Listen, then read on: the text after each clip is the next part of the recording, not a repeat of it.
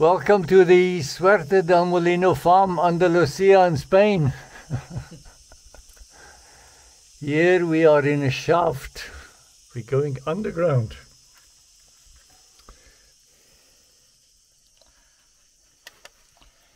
And this is our qanat water system.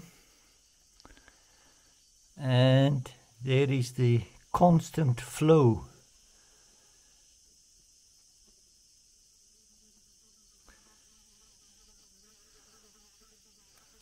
and this side is now new to us. This is the well that has filled with mud. This we will all remove. And just have a look up here.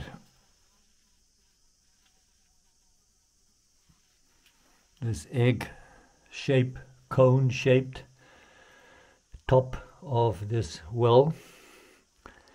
So we have no idea how deep it is, but water bubbling up from there. And I don't want to go too close. I don't know what I'll find there.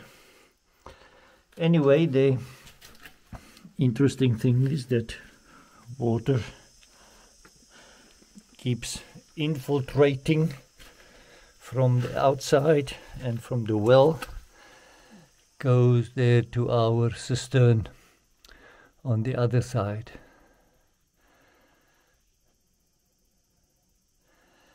A small stream but permanent.